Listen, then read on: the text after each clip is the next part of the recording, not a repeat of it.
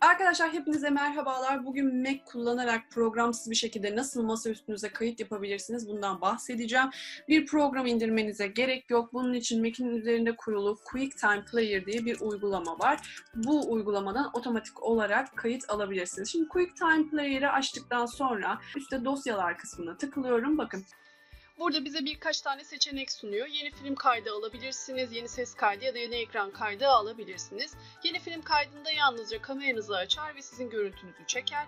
Yeni ses kaydında mikrofonu açar ve ses kaydı alır. Yeni ekran kaydı ise masa üstünüzdeki istediğiniz herhangi bir yeri kayıt etmeyi sağlar. ortada yer alan kırmızı butona tıkladım ve şimdi kayıt yapacağım kısmı seçmem gerekiyor. Bunun için bir yerden tutup şöyle çekip bırakmam yeterli olacaktır. Bu kadar alanı seçmek zorunda değilsiniz. Mesela sadece belli alanları da seçebilirsiniz. Gördüğünüz gibi yalnızca belirli alanları da seçilmesine izin veriyor program. Bundan sonra tek yapmam gereken kaydı başlata basmak olacak. Şu an kaydediyor. Hem sesinizi kaydediyor. Tabii eğer mikrofonunuzla ilgili bir sorun yoksa hem de ekranınızı kaydediyor. Ekranınızda yaptığınız her şeyi otomatik olarak sisteminize kaydediyor. Diyelim ki bütün işlemleriniz bitti. Nasıl kapatabilirim? Bakın bütün işlemleriniz bittiyse şu üstte yer alan şu üstte yer alan record işaretine tıklayarak kaydı kapatabilirsiniz.